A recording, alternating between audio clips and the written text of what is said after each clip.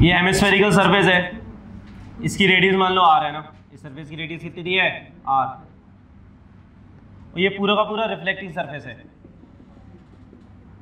समझ ये hemispherical reflecting surface है है ना? परफेक्ट रिफ्लेक्टर है परफेक्ट रिफ्लेक्टर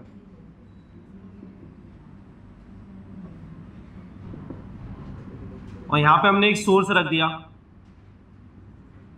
जो जिसमें से लाइट निकल रही है, और उसकी पावर है पी नॉट यहाँ पे एक सोर्स रख दिया है, इसमें से लाइट निकल रही है, जिसकी पावर है पी नॉट तो अब इसमें से सोर्स निकल रहा है इसमें से पावर है मतलब लाइट निकल रही है। तो लाइट हर डायरेक्शन में ऐसे से जा रही होगी, है ना? तो लाइट जब इससे टकरा रही होगी और वापस आ रही होगी टकरा के तो फोटोन का मोमेंटम चेयर हुआ मतलब फोर्स लग रहा होगा। तो फोर्स बताओ। मतलब एक परफेक्ट हमारे पास एक हेमिस्फेरिकल मिरर है। उसके सेंटर पे मैंने लाइट का सोर्स रख दिया। तो उस लाइट के सोर्स के कारण इस मिरर पे कितना फोर्स लगेगा? सो फाइंड फोर्स निकालो। इंटीग्रेट करना पड़ेगा इस बार? करो बताओ। क्या करो? यहाँ पे थीटा एंगल पे देखो यहाँ पे।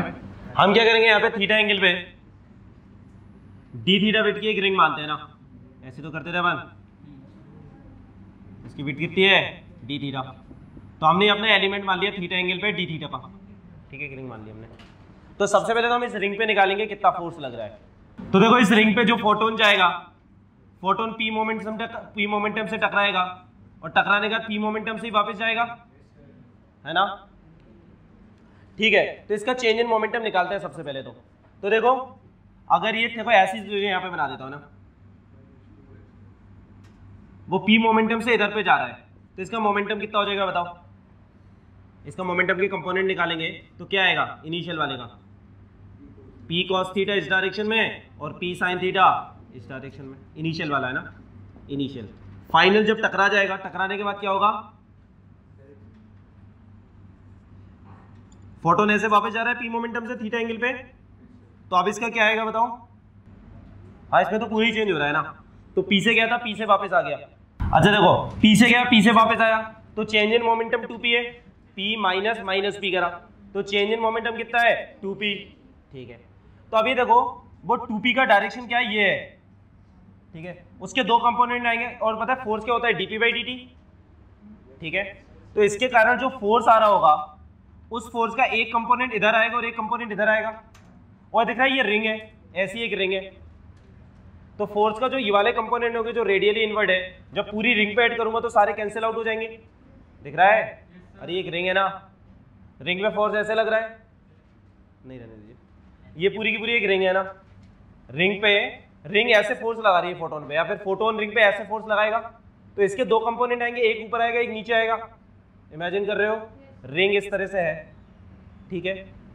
फोटोन ऐसे फोर्स लगा रहा है रिंग पे। तो एक कंपोनेंट इधर आएगा, एक कंपोनेंट ऊपर आएगा।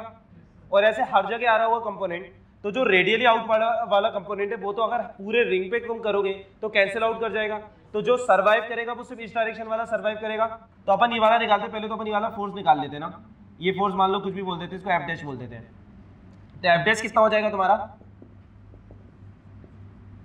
आ, इसको डीएफ बोल देते ना पूरी रिंग पे जो फोर्स आ रहा है उसको डीएफ बोल देते हैं। तो ये कितना आएगा तुम्हारा? D P by D T और तुम्हारा एफ़ डैश कितना हो जाएगा बताओ? चेंज इन मोमेंटम कितना हो रहा है तुम्हारा? टू पी और पी कितना है तुम्हारा? एच वाई लेमडा ठीक है। और D N by D T और D N by D T बताओ इस केस में क्या होगा? D N by D T हमारा क्या होता था सबसे पहले तो?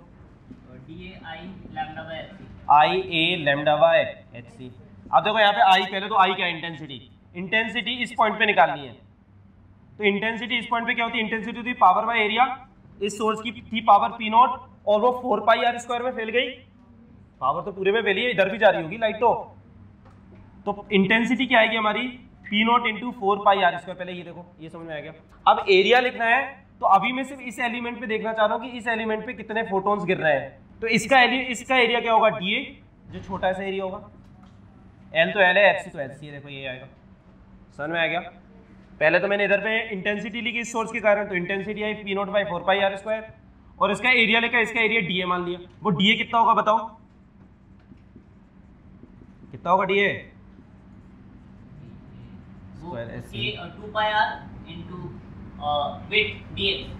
ये है ना? इसकी रेडियस कितनी होगी? अगर ये है तो इसकी रेडियस मान लो स्मॉल आर है। तो डीए कितना होगा बताओ अपना? तो इसका एरिया कितना हो जाएगा? D A equal to two pi R R D theta यही होगा? ये रेडियस आर है और ये लेंथ है आर डी थीटा ठीक है। और स्मॉल आर देखो क्या है small R is capital R ये थीटा है तो ये भी थीटा होगा capital R cos theta small R is nothing but capital R cos theta तो आर डी थीटा को मल्टीप्लाई कर दो यहाँ पे। तो डी ए कितना आ गया अपना? Two pi R square cos theta D theta देखो, ये आ रहा है। ये हमारा थीटा था तो ये भी थीटा होगा, ये कैपिटल आर है। तो यहाँ पे कैपिटल आर कॉस थीटा आएगा स्मॉल आर इक्वल टू तो रखो डी ए को यहाँ पे रखो तो क्या आ रहा है देखो? Two pi R square cos theta D theta तो देखो पाई आर स्क्वायर तो कट गया टू से टू कट गया। तो नंबर ऑफ़ फोटोन्स कितने गिर रहे हैं इस छोटे से एलिमेंट्री एरिया पे? P naught lambda by two H C cos theta D theta देखो।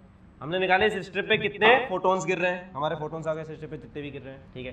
अब बताओ इसमें फोर्स कितना आएगा एफ़ डैश रखो यहाँ पे। तो आ रहा है तुम्हारा P naught lambda by two H C cos theta D theta और टू एच बाय लेमडा तो टू एच से टू एच कट गया लेमडा से लेमडा कट गया तो तुम्हारा फोर्स इतना निकल के आ रहा है एफ़ डैश है ना?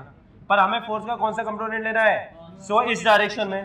तो ये एंगल थीटा है तो ये एंगल 90 माइनस थीटा हो जाएगा. तो जिस फोर्स को अपन इंटीग्रेट करेंगे मान लो इस डायरेक्शन में जो फोर्स आ रहा है वो तुम्हारा कितना आ जाएगा. डी एफ़ साइन थीटा हो जाएगा. मान लो इसको एफ़ डेस की जगह डीएफ बोल दो. डीएफ बोलना ज़्यादा सही है ना? इसको डीएफ बोल दो भाई. तो इस डायरेक्शन में जो फोर्स आ रहा है वो तुम्हारा डीएफ इधर डीएफ है. तो DF cos of 90 minus theta which is DF sine theta ठीक है. तो हमारा जो नेट फोर्स होगा, वो क्या होगा? हम इसको इंटीग्रेट करेंगे इंटीग्रेंट डीएफ साइन थीटा होगा हमारा नेट फोर्स देखो, इस एलिमेंट पे फोर्स कितना है? डीएफ साइन थीटा ऐसे सारे एलिमेंट पे इंटीग्रेट कर दो तो नेट फोर्स मिल जाएगा और दिख रहा है नेट फोर्स ऑब्वियसली इस डायरेक्शन में ही आएगा, क्योंकि इस पूरे डायरेक्शन में तो सिमेट्री है। तो ऊपर, नीचे और कहीं तो आ नहीं सकता, जो भी फोर्स आएगा वो इसी डायरेक्शन में आएगा। तो देखो कितना आ जाएगा अपना नेट फोर्स डीएफ कितना है अपना? P naught by H C तो common P naught by C है ना? पी नोट बाई सी तो हमारा कॉन्स्टेंट है, बाहर आ जाएगा। अंदर क्या बचेगा? तो अंदर बच रहा है हमारा sine theta cos theta D theta और लिमिट बताओ थीटा की कहाँ से, कहाँ तक रखें? अगर पूरा कवर करना है तो। देखो थीटा को ज़ीरो कर देंगे तो हमारी रिंग ऐसी बन जाएगी और पाई बाई टू करेंगे तो यहाँ पे आ जाएगा। तो ज़ीरो से पाई बाई टू करने पे पूरा हेमिस्फीयर कवर हो रहा है हमारा। ज़ीरो से पाई नहीं ज़ीरो से पाई बाई टू करेंगे। क्योंकि रिंग पीछे वाला तो ऑलरेडी कवर कर रही है ना, ऐसे पूरा कवर कर रही है रिंग तो लिमिट हमारी क्या होगी? ज़ीरो से पाई बाई टू तक। ये वैसे अभी बताना भी नहीं चाहिए मुझे। ये ऑलरेडी तो मोमेंट ऑफ़ इनर्शिया और इतनी सारी चीज़ें पढ़ते उसमें हम ऑलरेडी कवर कर लेते हैं। पर ठीक है, देख लो एक बार अगर थीटा को ज़ीरो करूँगा तो ये रिंग बन रही है। थीटा को फोर्टी फाइव करूँगा तो ये रिंग बन रही है। थीटा को नाइनटी कर दूँगा तो ये रिंग बन रही है। तो देखो, यहाँ से लेके यहाँ तक पूरा कवर करते ना अपन स्पीयर जब ज़ीरो से नाइनटी डिग्री पे लेके जा रहे हैं। इंटीग्रेशन मतलब ये तो छोटे छोटे एलिमेंट को ऐड कर देता है। तो पूरा का पूरा कवर हो गया हमारा। तो क्या आएगा बताओ यहाँ पे? Net force P naught by C integrate इसका क्या होगा इंटीग्रेशन बताओ? साइन का derivative cos square cos theta होता है? Sine square theta by two हो जाएगा। Sine square theta by two zero से पाई बाई टू तक। तो बताओ क्या आ गया? वन आ रहा है वन बाई टू तो नेट फोर्स कितना आ रहा है तुम्हारा? देख लो ये साइन पाई टू बनाएगा ना? वन बाई टू आ रहा है P naught by two C आ रहा है।